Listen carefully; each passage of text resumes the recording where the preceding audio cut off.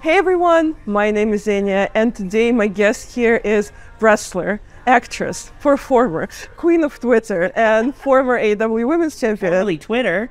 No, former champion. No, queen of formerly Twitter. formerly not Twitter. Now, Twitter anymore. now it's X. we still call it Twitter. It's still Twitter. So Nyla Rose.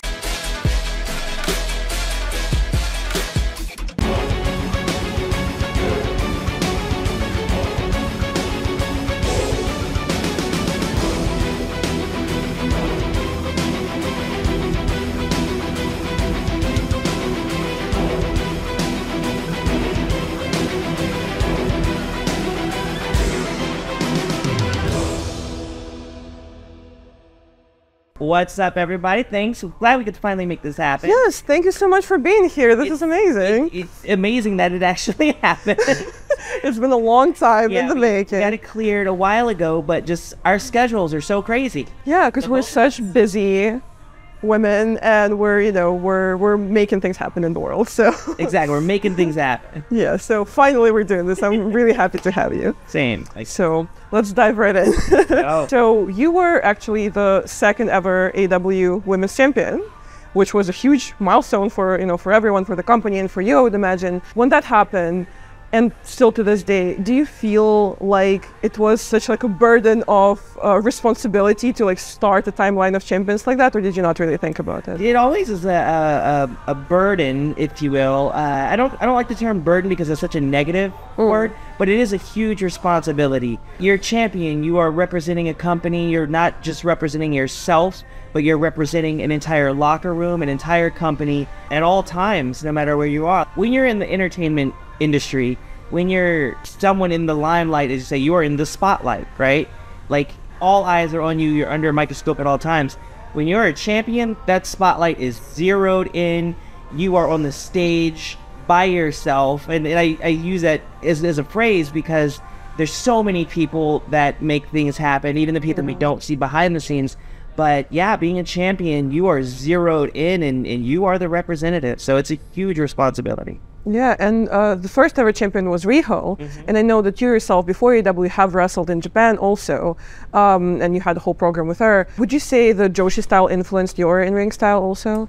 Um, you know, I never thought about it till this moment, but yeah, it probably has. Just with how much time I've spent in Japan and understanding a little bit of the difference in ring psychology there. Mhm. Yeah, that's a, that's a good observation. Thank you. a little bit of introspective uh, journalism going on here. I, I never would have thought of that, but yeah, you're probably absolutely right. Yeah, do you want to elaborate on the difference of the in-ring psychology? Like, in general, what is the difference? If you can put the no, okay, no difference actually. um, it's, it's it's hard to it's really hard to paint that picture without peeling back the curtain. Um, so I, I'm probably gonna shy away from that one a little bit. But but there there are some very very nuanced things that are a little different how we do them than how Yeah. uh, they do Joshi style in Japan. And um, I've never had the privilege to wrestle in Mexico, but they're probably done a little bit differently in Mexico, just from what I see when I do watch Mexican wrestling. So it's just uh, uh, the culture of wrestling from all over the world. Things are a little bit different, but always the same. Yeah, and in that same timeline, pretty much in the like early stages of AEW, they were bringing in a lot of Joshi mm-hmm. talent, and they were pretty much the first American TV company to bring in Joshi wrestlers like that. So, do you want to see more of that in the future? Would you like to work with more Joshi wrestlers? Oh yeah, for sure. I've never shied away from it. I'll work with anybody, anytime, anywhere. I even love working with people who aren't wrestlers per se, uh, just because they bring such a different outlook, and things get to be a little bit monotonous when you're going through the rigmarole of wrestling. It's a good way to keep things fresh and different. And then if you're not used to working a certain style, uh, it's very helpful in that way to change your repertoire, change how you look at things, and then you can approach things from a different point of view, and you just heighten yourself. You're constantly improving yourself. Yeah, and talking about different cultural backgrounds and influences, you are one of the somewhat few Native American wrestlers on, on TV, again, in a huge TV company. Is that important for you to showcase in your presentation, and how do you channel that? Uh, it, it was important for me to kind of showcase that, and um, just from a uh, entertainment standpoint, I thought the the appeal of uh, leaning more into my Native American heritage was a little bit more showy with like the fringe and some of the imagery, you know, with the loincloth, the handprint, the the the symbol on my arm for all the Six Nations is a little bit more show, not theatrical, but like a little bit more uh, pageantry, if you will, Cool. which is something that we see at powwows when you have the different categories. When people come out and they have the jingle dancers and they're wearing all their regalia, um, it's very showy. The beadwork is just out of this world. But yeah, like I don't I don't really shy away from anything. A lot of people forget that I'm black. I'm black too. Like, I'm, I'm a black indigenous woman, and and uh, I just saw it leaning more into the Native American side of things because we don't really see that that much. But I'm very vocal about all my sides. Yeah, and yeah, know all your sides, and we're you know cruising to the next question. So you signed with AEW in 2019, and you were the first openly trans woman to I'm sign what? with a TV company, with a TV wrestling company. And uh, yeah, I would also imagine that gets a lot of response like from the community, and I would imagine people hold that representation very closely. Do you feel like it's something that you had to actively think about, like, oh, I'm gonna be a role model for those people, or do you feel like it's kind of put on you and you kind of have to accept it? I honestly did not think about it because, like, that's so far removed from me as a person and my mm. personality. I literally never think about it. Like, more people care about it than I do. I just wake up in the morning, I brush my teeth, I put my drawers on, and then I leave the house. I might put on a few more clothes and just under Sometimes. you know, drawers teeth. But, you know, like, I get dressed, I leave the house, I don't think about it everyone else on Twitter Yeah. is talking about it and it's a big deal to them, and that's cool. Uh, except for when you're negative and hateful, Yeah. don't like that. But it just seems like it's it's it's more important to so many other people. I'm just trying to live my life Yeah. and do my thing, chase my dream, provide for my family, raise kids who you know know right from wrong and will contribute to society. I'm just trying to live my best life. Yeah, absolutely. And we've been mentioning social media throughout this whole conversation. And let's not talk about like the haters and all that. Uh, but you've also been using social media to your advantage to connect with the fans and to further uh, certain rivalries. Like you had your whole beef with Serpentico over social media. So how did that happen? Like how did that come about? That's real. It's real to me. That's as real as it gets. Um, I don't even remember at this point. it just happens. I don't even remember. He claimed. Now, he claims this tiny little snake brain that Stupid, it stupid all- snake, man. it all stemmed from the burger incident. When Britt Baker had her coronation ceremony for winning Yeah. the title, she had a bunch of Britt Macs that were sponsored by, by a certain uh, burger clown. I don't know if we can say these things, but uh, we had a tray. We had a plethora of beef patties, if you will. Excuse me. I'm very passionate about Oh, it. beef patties. I may have gotten a little irritated. Uh, that Plus, allegedly. allegedly no proof aside from the video footage uh, from Dynamite. I may have gotten a little irritated uh, at, at Britt being the center of attention, and I may have had a tantrum. It's what they say. Um, but because the burgers were spilled and balloons were popped, and I might have kicked someone in the shin or two, allegedly. Allegedly. Uh, apparently, that's where this started for him.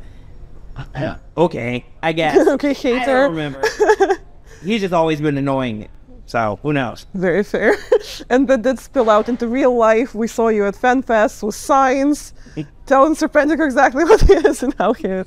Um, but on a bit of a more like serious note, if I can, because I'm such an obnoxiously serious person, um, there's definitely like an intergender aspect to that. It's a rivalry between a woman and a man within the wrestling company, which doesn't usually happen in TV companies, or it doesn't often happen. Was that in any way important to you, or was that in any way a problem with people? And would you like to have more intergender rivalries? Uh, kind of circling back, anytime, anywhere. As, as AEW, we haven't really televised a lot of the intergender stuff, but it is a part of pro wrestling. Yeah. We see it all the time, everywhere on the indies. When you are training, your trainers are almost always going to be male. You know, but the the men are in there with the women, the women are in there with with the men, um, and it just is what it is. It's just wrestling.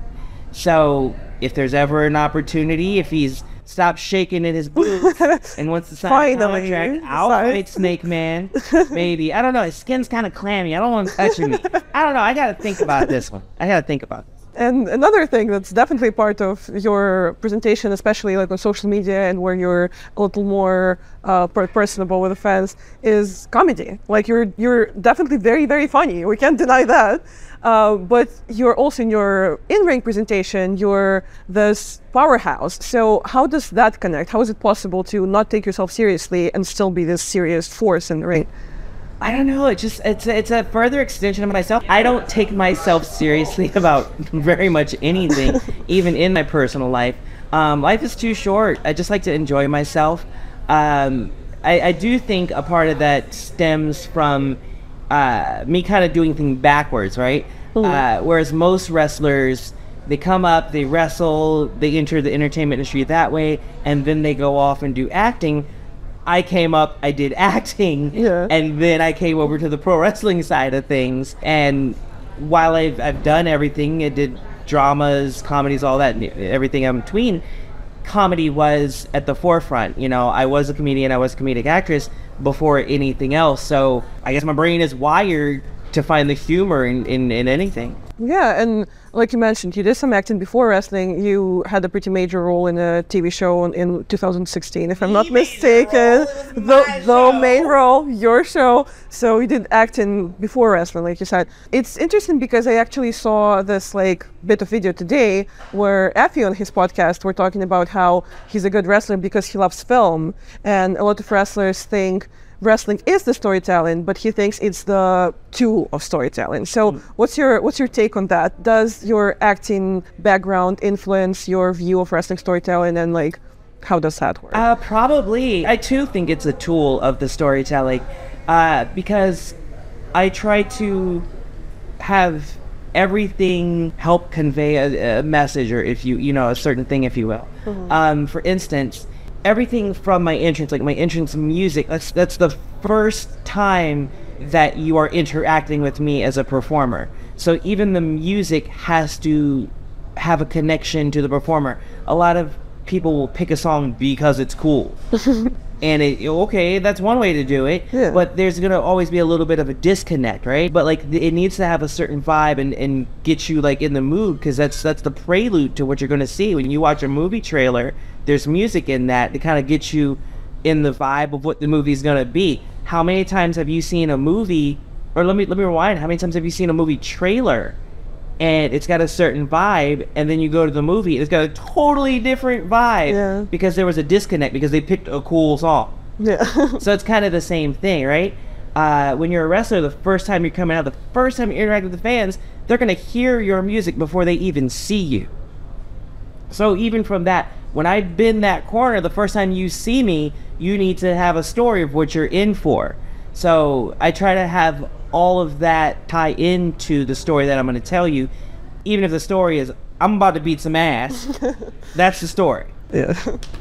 Yeah, and like you're saying, uh, wrestling is pretty much a combination of so many different types of media, and that's why it can be, you know, applied to different types of media. And especially AEW have been doing a great job in doing like sports-related charity events and featuring superstars on um, like talk shows, and like game shows.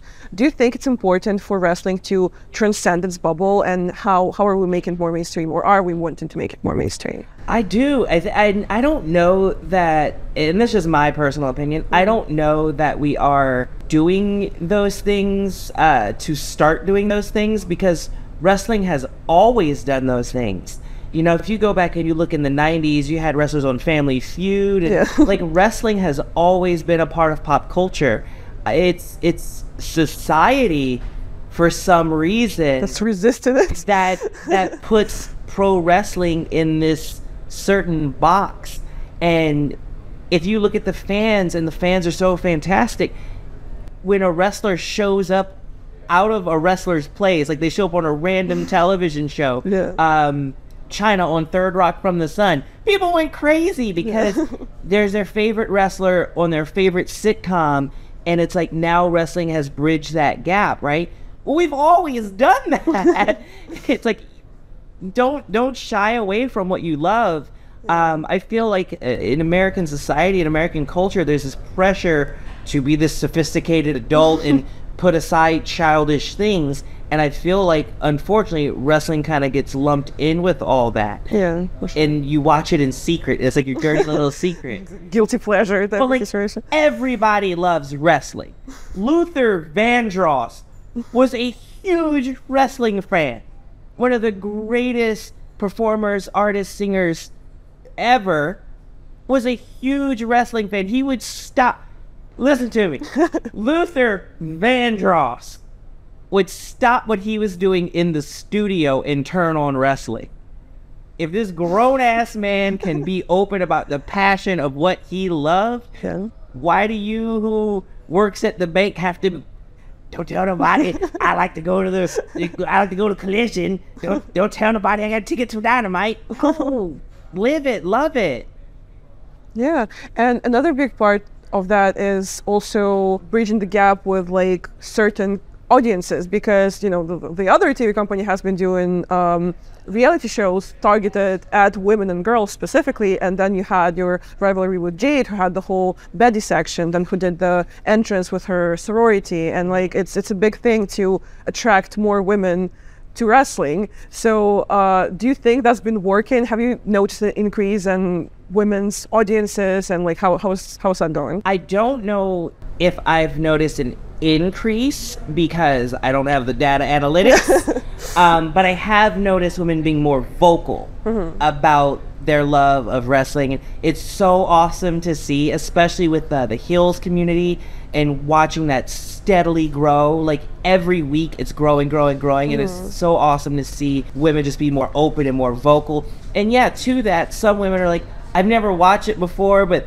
then I saw this and like I'm I'm in, and it's like it's it's really cool to see that. Yeah. Constantly grabbing up new fans, but then seeing people be able to be like, no, I like this, and I don't care what anybody thinks. Maybe it's just me, but I feel like you kind of saw the same thing with uh, other sports like football and baseball. There was a time where you look out in the crowd like all dudes, right? Yeah. And then somewhere, like it, I don't know, the '90s, like you just started to see more and more women, and it just it grew. And like nowadays, you have like all women parties for the Super Bowl. It's like it's crazy and it's awesome. And like I feel like you're starting to see that now. We're like on mm-hmm. on this boom of just women being like, no, we like wrestling. Let's do this. Yeah, and definitely, like I, I've even noticed in my time watching wrestling, because it used to be you've been at the show and a dude would always ask you, "Oh, are you like someone's girlfriend?" Yeah. Or like, "Did your husband introduce you to wrestling?" like, no, we love wrestling. Get over it. We can like what you like. Hello. Uh, and as opposed to wrestling media, there's another phenomenon that's wrestling in non-wrestling media. Like we've seen, uh, like there's a couple movies about to release about wrestling, and then we saw uh, Glow, which was, of course, some wrestlers were featured on the show, and it was like consulted with wrestlers. But then we saw like like Young Rock, like we see like non-wrestling production companies making shows about wrestling. Do you think it's a good thing? And how accurate do you think that presentation should be? And does inaccurate representation of what wrestling is like harm wrestling in any way? I think it's a great thing. I think it's a wonderful thing. I think it's helping. I think it's helping to tear down that wall and let people be like, no, I like pro wrestling. As silly and wild and as wonderful as it is, I love it. And shows like Glow, I really truly believe helped with that resurgence in pro wrestling.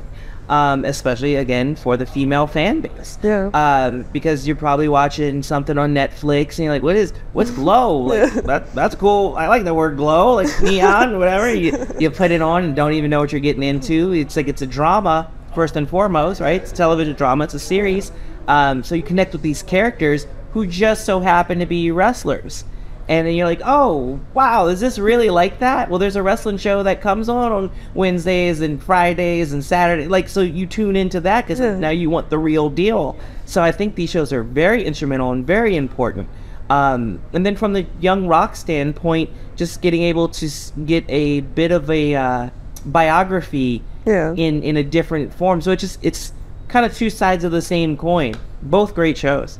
Yeah, and as someone who has an acting background but who's also a wrestler, is that in your future plans to kind of put the two together and maybe like star in a show or act in a movie? I absolutely would love to. I, I I'm not going to shy away from any opportunity as long as it's you know going to benefit me in some way. And I, I know that sounds really selfish. well, no. I, I know that means that, I know that's not selfish, but like you know I got to look at it as like the scheduling and everything. But as long as it's not something that's going to uh, be detrimental to anybody or anything, if it's going to be a good project, if it's something worth attaching your name to. Um, then yeah, I, I'm willing to explore any opportunity. Yeah, and in terms of wrestling, what should we be expecting from you in the nearest future? Do you have your eye on a certain title, or what, what's what's next for Nyla Rose AEW? More bodies, more pain. Outside of that, I have no idea. I take things one day at a time. Given the opportunity, any title, all titles, oh. it'd be nice to actually have the TBS championship where nobody can like claim that they were the rightful owner. Yeah, like what do you mean? It was your title. Thank you, right? Right, The like- disrespect of them putting TBS champion in quotation marks under my name. So it'd be nice to have them do that without the quotations. Put some respect on Nyla's name, all right? Yeah. well, we're all very excited to see what's next, and thank you so much for doing this. Thank you for being here. It's a little parting gift for you. It's a snazzy I did that shirt Because I did that. Because you did that. That can be found on Pro Wrestling Tees. forward slash anything that. Here you go. Shirt. I'm aware of this today. And yeah, thank you so much for doing this. This was great. and you guys, if you enjoyed the interview, give this video a like. I will leave all the links to Nyla's social media in the description down below. Subscribe, tap the notification bell to never miss an upload, and until next time, goodbye.